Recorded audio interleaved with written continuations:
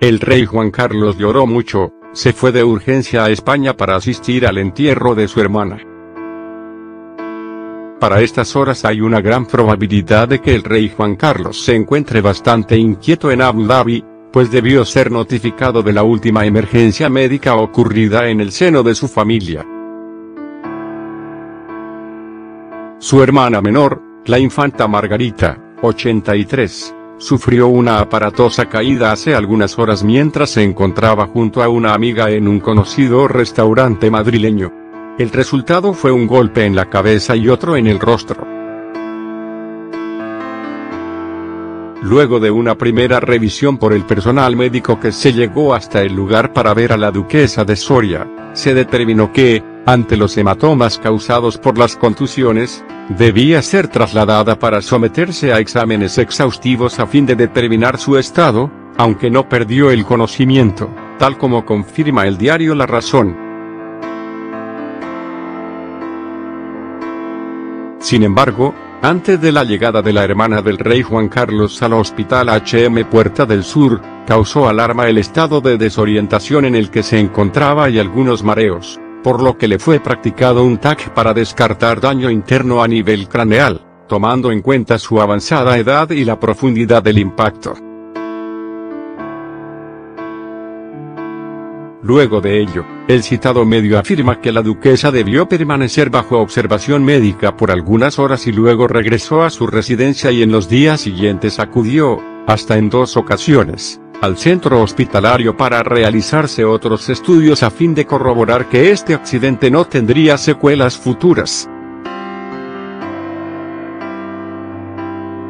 Actualmente, se encuentra recuperada y ha retomado su agenda social no exenta de toda prudencia y el debido cuidado de sus hijos, Juan Carlos y María Zurita, quienes la acompañaron desde el minuto uno en que se supo sobre esta lamentable eventualidad.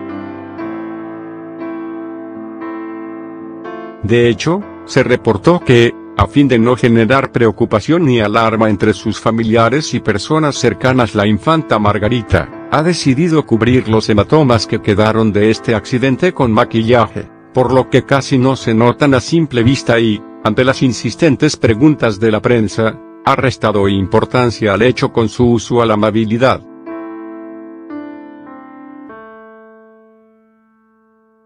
También se desconoce si ha establecido contacto con el rey Juan Carlos desde el Emirato pero es un tema que podría darse por hecho dada la relación tan cercana que ambos han mantenido siempre. La infanta Margarita, 83 años, hermana menor de don Juan Carlos de Borbón, tuvo que ser atendida de urgencia debido a una caída doméstica. A pesar de su movilidad reducida, la duquesa de Soria es una mujer muy activa. Enamorada de la música, no solo de carácter clásico, es asidua a teatros y otros recintos menos formales donde puede disfrutar de su pasión por la lírica. Hace unos días, ese carácter tan dinámico le acarreó una desagradable consecuencia. La menor de las hermanas del rey emérito, queda a menudo para comer y departir con amistades. En una de esas citas con amigas, sufrió una aparatosa caída de la silla en un restaurante de la capital. Doña Margarita se golpeó el rostro y la cabeza. Fruto de la caída fue atendida de urgencia por facultativos que se desplazaron en ambulancia para un primer examen en el que descartaron, en principio, graves consecuencias pero aconsejaron que fuera trasladada a un hospital para realizar un escáner. La infanta Margarita no perdió el conocimiento pero la contusión le produjo un hematoma en la frente y temieron por la fractura del tabique nasal pero lo que más preocupó fue lo aturdida que quedó. La duquesa de Soria fue atendida en el hospital HM Puerta del Sur sito en la madrileña localidad de Móstoles, en el oeste de la Comunidad de Madrid. La propia infanta, Doña Margarita optó por ser atendida en dicho centro hospitalario en el que pasa consulta un médico de su íntima confianza. A la llegada al centro hospitalario, la infanta presentaba contusiones en rostro y cabeza, se mostraba mareada y desorientada. Tras realizarle el TAC craneal las pertinentes pruebas, descartaron daño cerebral alguno. No obstante, la infanta quedó en observación unas horas antes de ser dada de alta. Los hijos de la infanta Margarita, María y Juan Carlos Zurita acudieron al centro hospitalario para acompañar a su madre y conocer de primera mano el tranquilizador diagnóstico. Doña Margarita pudo ir a casa con la sugerencia de que fuese vigilada y ante cualquier atisbo de problema fuese informado al doctor de confianza de la infanta para valorar si debería ser trasladada al centro hospitalario. Doña Margarita volvió poco a poco a su rutina habitual, aunque volvió en dos ocasiones al hospital para excluir que las contusiones conllevaran secuela alguna. La duquesa de Soria va recuperando la normalidad de su cotidiana actividad social con moderada prudencia.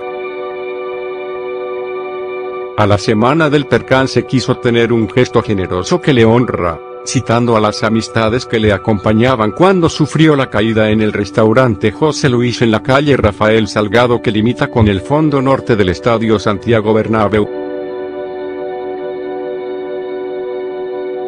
Doña Margarita ha preferido que el accidente no trascienda para no preocupar a su entorno familiar y de amistades. Para ello, disimulaba los hematomas con maquillaje que matizaban los evidentes moretones provocados por las contusiones.